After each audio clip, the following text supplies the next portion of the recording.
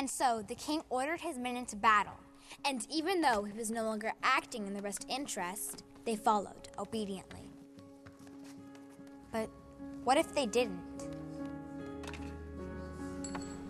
What if they just refused? What if selfish leaders got no support? What if people had the courage to stand up when something wasn't right?